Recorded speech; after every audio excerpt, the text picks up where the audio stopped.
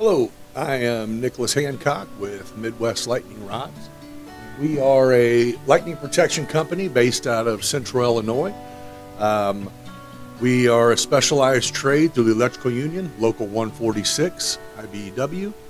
Um, how it works here in Central Illinois, if we want more than one um, lightning protection installer specialist um, on site, then we have to pull two journeyman electrician from the bench to work alongside with us.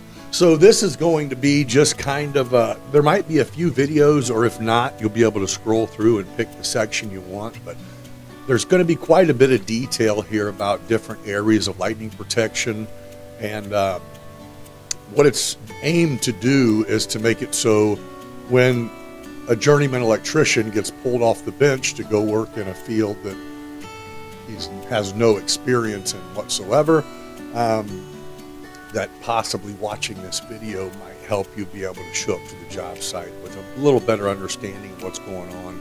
I will mention a lot of things that are um, basics as far as the codes we follow, which is UL 96A, NFPA 780, and LPI 175. Uh, first topic is going to be um, just basics.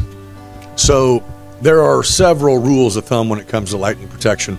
Um, first of all, there is two different kinds of materials that are used um, when uh, we submit or when they spec a uh, lightning protection system. Um, there is aluminum and there's copper, uh, which uh, copper is copper and bronze, both interchanged, uh, depending on the part of the component that's that was made.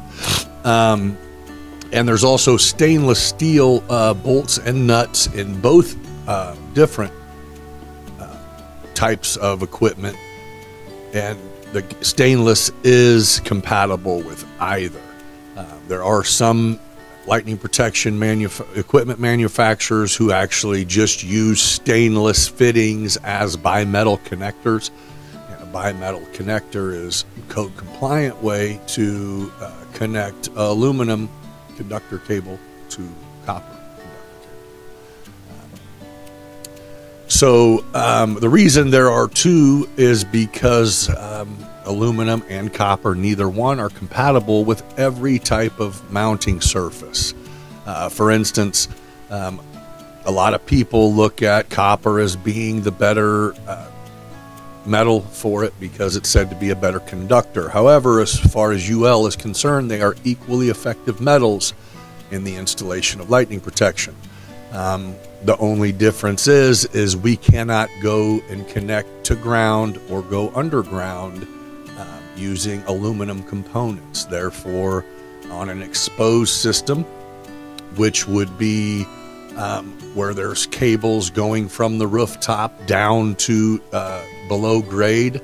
Um, prior to entering the soil, uh, we would convert to copper if it was aluminum running down or aluminum rooftop system, um, which if it's exposed, we are putting a 72 inch uh, Schedule 40 or Schedule 80, depending on the spec, uh, PVC non conductive sleeve um, over it for the bottom six foot. So, what we would do is convert to copper just before we uh, put the PVC sleeve on it for protection.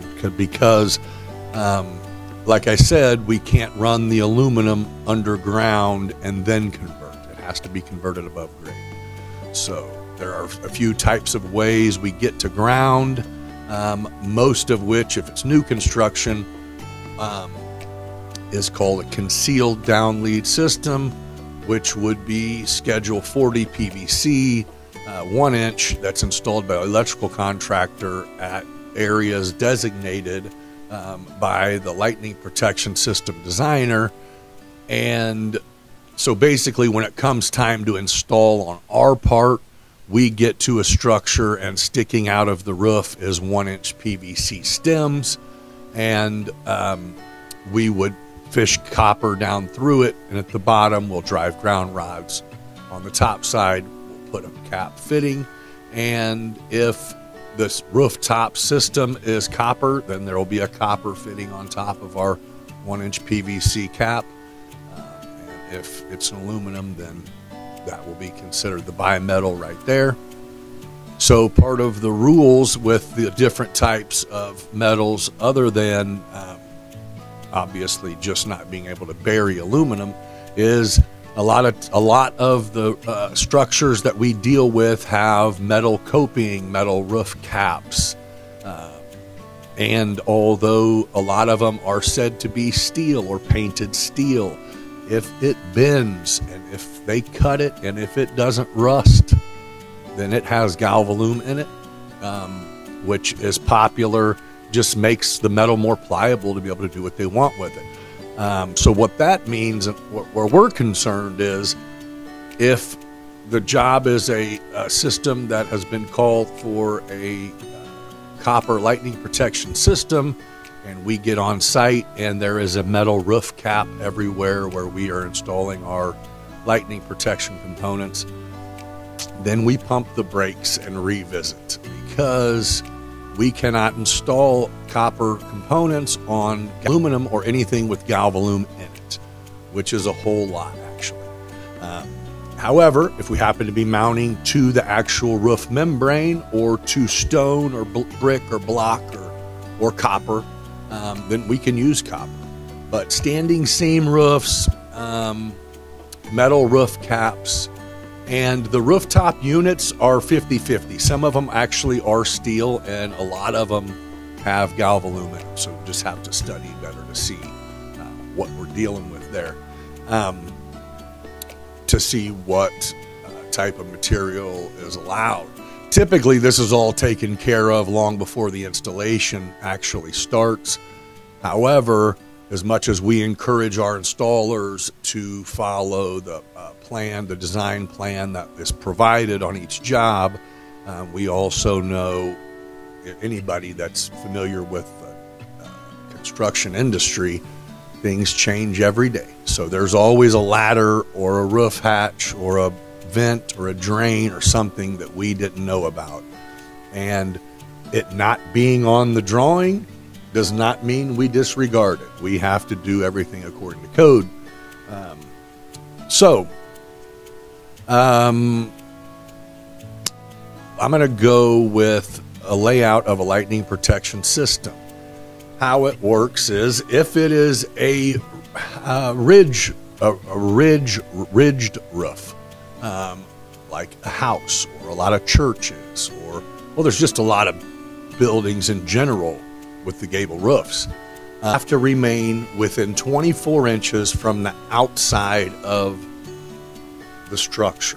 So if it's on a, a building ridge or a, a roof ridge, then within 24 inches from the edge, we usually go between 12 and 18, We'll be our first air terminal unit. They are spaced along the ridge or the high point for every 20 feet or less. And in between the air terminal unit bases or the lightning rod bases, and the bases are what actually attaches to the roof or the unit or whatever we're attaching to. Um, and that's also what the cable connects to. The lightning rod or the air terminal itself, it just is threaded rod that screws on um, to act as a new high point. Which brings me to a good point. Our whole job is to create a new high point of a structure. So when we get on a rooftop, we are going around the perimeter of a flat roof we're staying within 24 inches of the outside edge, and usually that's only a concern on corners. Um, but yeah, outside corners get an air terminal, and every 20 foot around the perimeter, get an air terminal. In between those air terminals and air terminal bases that are getting glued, every three foot, there must be the cable has to be fastened if we are doing an adhesive mount system, which about 90% of our systems are, then we will be adhering our air terminal bases and every three foot we will be adhering cable fasteners. Um, we call that laying the dots.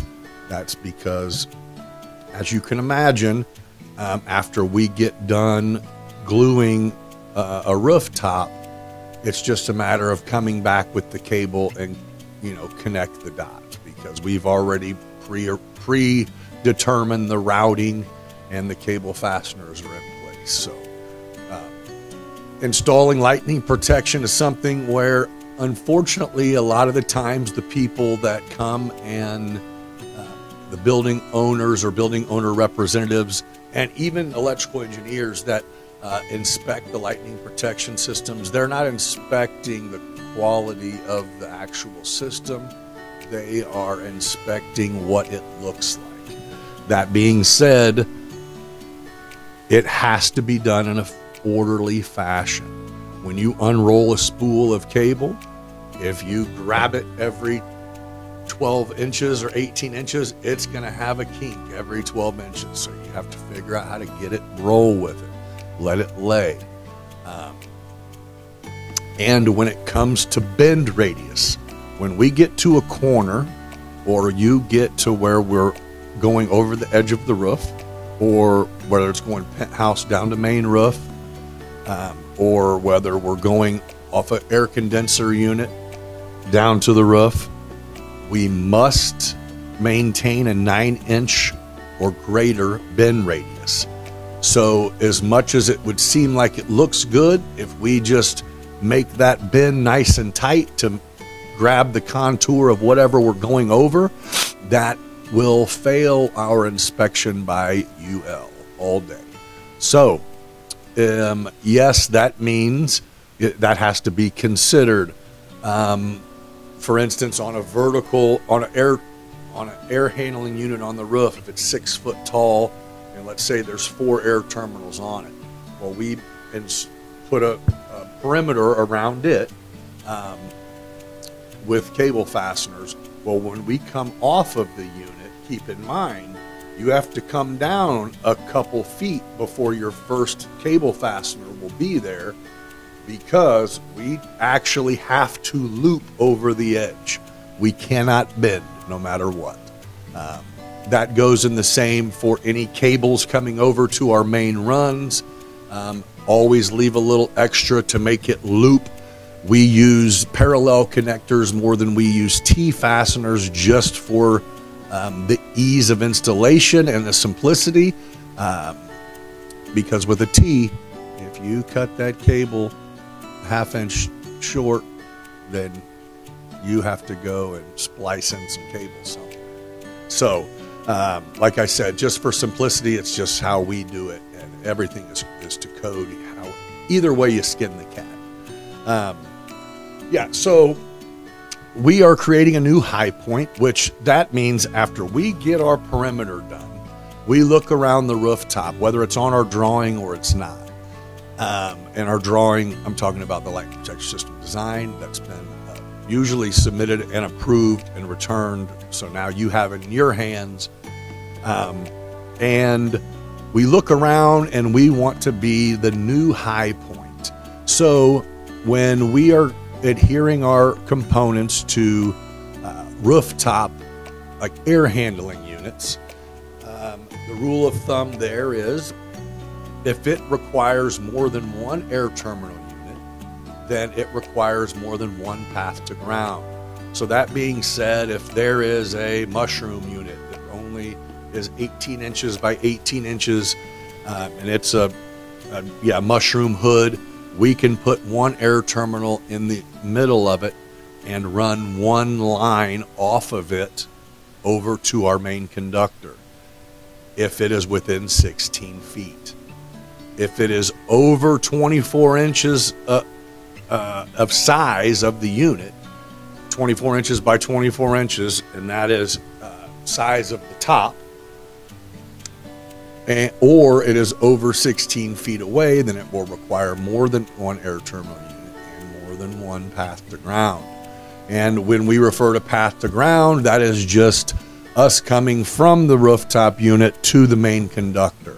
Um, in this case, in most cases, uh, we will essentially where a unit will require more than one path to ground, we'll be making a U over from the perimeter lightning protection com- uh, conductor. We'll just come out to the unit, make a U, and go back and come off that unit two times and connect to it right there at the base. But keep in mind, all of these routings have to be predetermined when the adhering of the cable fasteners takes place. Um, so we have to keep the size and all that in mind. And r- the rooftop units, if they are over 24 inches, um, that means they will require more air terminal units. If it's over 20 feet long, then there will have it's treated just like a separate roof. Um, most air handlers uh, can get by with one on each corner. Um, however, there's also some big condenser units that require a lot more. Um, and that goes the same with solar panels. If there is area for us to mount to a track that the solar panels are on, then we will do that. Um, if the construction of the panels is not um, adequate for us to run or screw into anything, um, then we will build a perimeter around it using air terminal units with tripods on them that stick up 10 inches above the top of the solar panel height. So 10 inches is our magic number. There is no, we don't use 10 inch air terminal units. We use 12 or 18 inch. So maintaining 10 inches above shouldn't be a problem. But um, that's it. If there is a any metal body whatsoever that is within six feet on the roof level, that is within six feet of our main conductor, then we will bond to the base of it and connect it to the uh, perimeter main conductor to prevent side flash. Um, if it is non conductive and it is not taller than our air terminal units that are on site, or it's not a, a new high point and it's non conductive, then we don't bond to it at all, or we don't even worry about it. If, but that does mean if there is a few soil pipes or drains or anything, a safety rail that is coming near within within six feet of our main conductor, we have to bond to it. There's numerous different ways to do to it: bonding plates, bonding straps. Depends on what we're bonding to, but it has to be connected. Um, and that goes the same with um, when we're when we are bonding to uh, or when we are protecting around solar panels we're not connecting to them but there is a track on the ground we still have to consider that. Every 100 feet it has to be connected to our system. Uh, so on the rooftop we got every 20 feet around the perimeter we got air terminal units. Every 100 feet around the perimeter we drop to ground. So approximately every 100 feet, we will either be going to ground or you'll be seeing a piece of PVC stubbed up or we will be installing the PVC, um, depending on what stage of the game. Fall protection is mandatory, just like anywhere. If you're in a bucket lift, if you're within six foot of the roof edge, it will be your responsibility. We provide all tools, all fall protection equipment. We provide everything other than your hard hat, your safety glasses, your boots, and your high vis. Um, but yeah, we are. You are expected to have a harness on. There's yo-yos to take up, and uh, just stay safe. I do get it that we're moving a lot, so it's not the most convenient. But you got to do what you got to do to stay safe and not get in trouble. This field doesn't require a whole bunch of tools. Um, of course, whenever we're driving grounds, there's a pretty substantial size ground rod driver, but other than that, it's a couple ratchet wrench, a rack, ratchet winch. It's 9 16ths on one end, half inch on the other end, pair of channel grips, cable cutters, uh, some tin snips, nut driver, and um, yeah, impact driver. That's pretty much what we use. Um, the hammer always comes in handy But what we try to do is use adhesive mount everything. We don't want to be responsible for any roof penetrations because we don't want to be at any roof leak meetings that happen. Um, but yeah, well, thanks for joining the team and thanks for uh, checking out this video. There'll probably be another one or two for you to look at um, if you are going to come to the field. But this was just kind of an overall, um, in general, of what we do. Hopefully, the illustrations I've thrown up along with this could be helpful also. But uh, uh, yeah, Midwest Lightning Rods, lightning strikes, we protect. Um, and feel free to visit our website, www.lightningstrikes-weprotect.com. Give us a call, 217-872-4676. And uh, if you have any lightning protection needs whatsoever, or if you need a little bit more insight, or if you are coming to work, then uh, I look forward to it. I'm signing off here. God bless.